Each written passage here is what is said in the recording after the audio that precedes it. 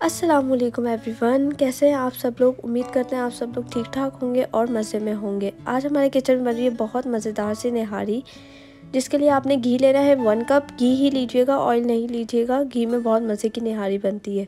फिर हम इसमें ऐड कर देंगे प्याज, दो मीडियम साइज़ की प्याज मैंने ले ली थी, उन्हें बारीक बारीक काट लिया। इन्हें थोड़ा सा हम फ्राई करेंगे, इतना कि इसका, इनका रंग थोड़ा सा चेंज हो जाए। फिर हम इसमें ऐड कर देंगे गोश्त। गोश्त तकरीबन ये ढाई किलो था, जिसमें हड्डियाँ भी थी, एक से डेढ़ किलो, और बाकी इसमें गोश्त था। ज़िंदा गार्लिक पेस्ट हमने इसमें ऐड कर दिया टू टेबल स्पून और अब हम इसको अच्छे से मिक्स करेंगे। फिर हम इसमें ऐड कर देंगे दो बड़ी इलायची दो दालचीनी के टुकड़े हमने इसमें ऐड कर दिए, एक बादियान का फूल ऐड कर दिया, वन टीस्पून हमने इसमें ऐड कर दी ब्लैक पेपर और चार से पाँच हमने इसमें लौंग ऐड कर दिया। अब हम इसकी अच्छे से भुनाई करेंगे, तकरीबन दस से पंद्रह मिनट तक हमने इसे अच्छे से गोश्त को फ्राई करना है, कि इसका सारा पानी जो है वो खुश्क हो जाए और अच्छे से हमारी बुनाई भी हो जाए। ये देखें आप कितने अच्छे से हमारा गोश्त जो है वो फ्राई हो गया है। अब हम इसमें ऐड करेंगे मसाले, जो कि हल्दी हम इसमें ऐड करेंगे वन टी नमक इसमें जाएगा वन टेबल स्पून आप लोग कम ज़्यादा कर सकते हैं। लाल मिर्चों का पाउडर इसमें जाएगा वन टेबल स्पून और धनिया पाउडर भी इसमें जाएगा वन टीस्पून निहारी का पैकेट हमने इसमें ऐड किया तकरीबन थ्री फोर्थ पैकेट तकरीबन ऐड किया था हमने। दही हम इसमें ऐड करेंगे वन कप और अब हम दोबारा से इसकी अच्छे से बुनाई करेंगे। निहारी में इतनी मेहनत तो खैर नहीं होती है, ना ज़्यादा टाइम टाइम तो लगता है खैर। लेकिन जितनी अच्छी निहारी की बुनाई होगी, उतना ही मज़े की निहारी बनती है। हमने इसमें तेज़पात भी ऐड कर दिए, दो।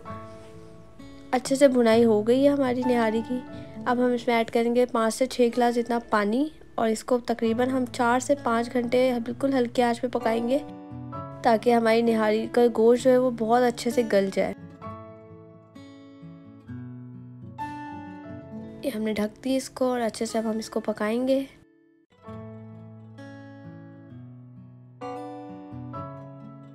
जी चार से पाँच घंटे हो गए हमारा गोश्त जो है वो अच्छे से गल गया है। अब ये जो ऑयल इसके ऊपर आ गया था, ये आप लोगों ने अलग कर लेना। जितना हो सके उतना आप लोग ये ऑयल जो है वो अलग कर लें। क्योंकि इसमें जब हम आटा ऐड कर देते हैं तो ऑयल तो वैसे भी ख़त्म ही हो जाता है, गायब हो जाता है। तो इसलिए आप पहले ही अलग कर लिया करें।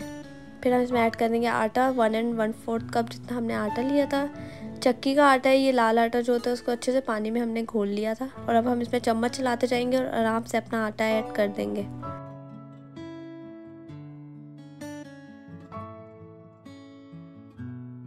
लास्ट में हम इसमें ऐड करेंगे धनिया, भुना हुआ, कुटा हुआ धनिया वन टीस्पून गरम मसाला पाउडर हम इसमें ऐड करेंगे वन टीस्पून अच्छे से हम इसे मिक्स करेंगे और थोड़ी सी देर ढक देंगे हम इसे।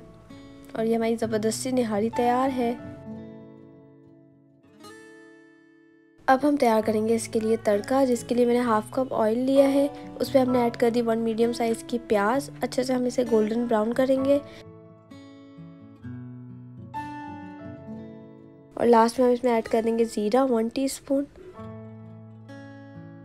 ये हमारा ज़बरदस्त सा तड़का बन गया। अब हम इसे निहारी में डाल के और फ़ौरन ढक्कन हम इसको ढक देंगे। और ये हमारी ज़बरदस्ती निहारी तैयार है। हरा धनिया, हरी मिर्ची और अदरक के साथ इसको सर्व करें और इन्जॉय करें।